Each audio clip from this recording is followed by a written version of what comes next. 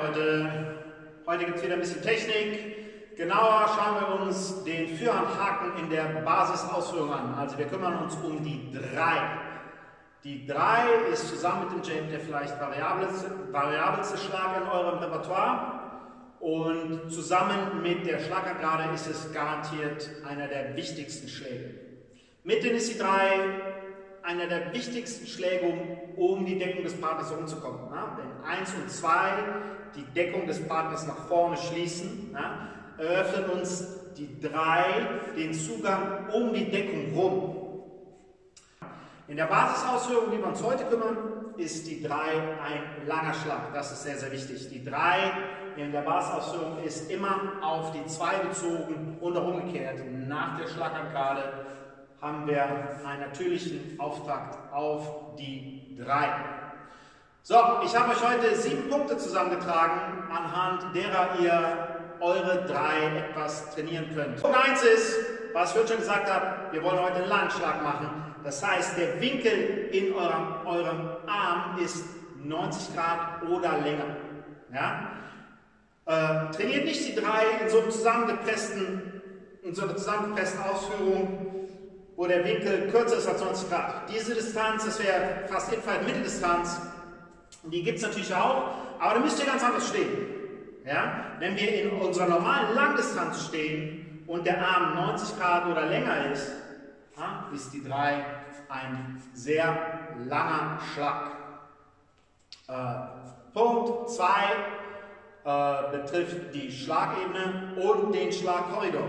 Die Schlagebene ist die Ebene, auf der eure Hände stehen, wenn ihr in der normalen Deckung seid.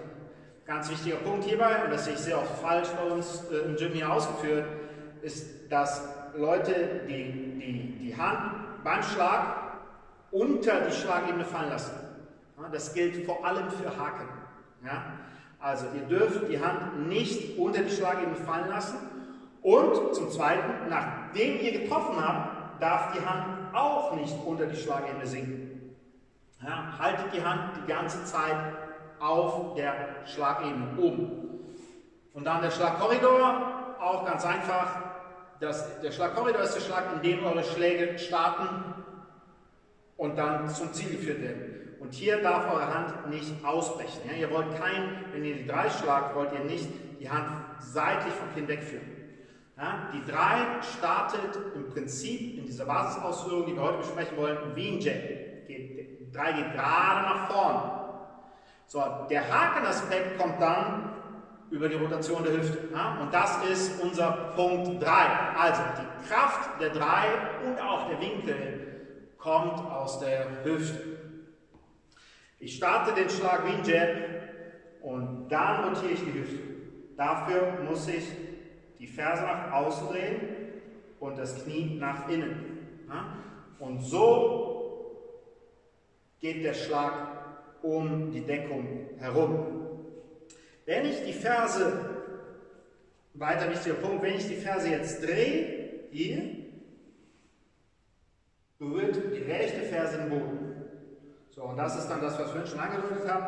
Ich spanne sozusagen die hintere Ferse auf und löse damit die 2 aus.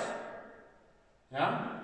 Oder ich löse damit einfach nur den schnellen Rückzug der Hüfte aus. Ja, also dieses Zusammenspiel, Rotation, Ferse heben und hier, Ferse senken und dann Gegenrotation ist für eine saubere Ausführung der 3 sehr, sehr wichtig. Punkt 4, wenn die Hüfte rotiert, die Kraft muss übertragen werden und das geht nur über die Schulter. Na, wir haben hierzu schon mal ein Video gemacht, das nennt sich Schultersnap. Schaut euch das bitte mal an, falls ihr es noch nicht gesehen habt. Äh, ganz wichtiges Video. Die Kraft der Hüfte wird in die Schulter übertragen und die Schulter snappt nach vorne ja, und berührt die Kinnspitze. Äh, dadurch habe ich die Kraftübertragung, dadurch habe ich auch die Deckung und auch ein wichtiger Punkt, dadurch kriegt mein Schlag auch Länge. Ja? Ähm, Punkt 5, Rückführung der Hand. Habe ich vorhin schon ein bisschen angesprochen. Äh, ein Problem oft beim Haken ist, vor allem bei der 3 ist, dass der Schlag zu weit weggetragen wird. Ne? und dann am besten noch fällt. Das darf nicht sein. Ja? Sobald ihr, die Schlag, Schlag, der Schlag soll im Korridor bleiben, sobald ihr getroffen habt, nicht weiterziehen, sondern mit der Hüfte wieder zurück in die Mitte. Ja, also habt ihr wieder eure 1, 2. Ähm, zum Zweiten, ihr wollt nicht die Hand so rumführen, ja, sondern ihr wollt, wenn ihr geschlagen habt, möglichst schnell zum Kinn zurück. Ja, und zum Dritten, ihr wollt nicht schlagen und so wieder rausgehen. Ja, das sehe ich auch super oft. Ja, ihr schlagt, habt getroffen und dann geht die Hand im Zusammenspiel mit Hüftrotation gerade zum Kinn zurück. Okay, so. Weiterer sehr, sehr wichtiger Punkt ist die Gewichtsverlagerung der 3. Das ist im Prinzip alles nur noch Zusammenfassung von den Punkten, die wir alle schon genannt haben. Wenn die Hüfte rotiert, soll euer Oberkörper in den Schlag reingehen. Also ihr wollt nicht so schlagen. Ja? Das wäre ein Checkhook, den gibt es auch, das ist ein komplizierter Schlag. Ja? Wir kümmern uns heute um die Basisausführung. Ihr wollt immer, den zu, ihr wollt immer mit eurem Gewicht in den Schlag rein. Dadurch habt ihr den natürlichen Aufzug in das hintere Bein. Dadurch habt ihr dann die 2 oder die 6 oder auch die 4. Ja, das ist sehr, sehr wichtig. Und natürlich, ihr kriegt euer Körpergewicht richtig in den Schlag. Diese Gewichtsverlagerung könnt ihr auf drei Arten machen. Einmal im Stand, dann mit Schritt im Pass, also nach vorne, mein Gewicht fällt ein, oder mit Schritt im Kreuz auf den rechten Fuß und mein Gewicht fällt nach vorne. Ist ganz egal, was ich mache, okay? Mein Gewicht fällt auf die rechte Seite. Bei meinem führenden Haken, bei meinem linken Haken fällt das Gewicht auf die führende Seite.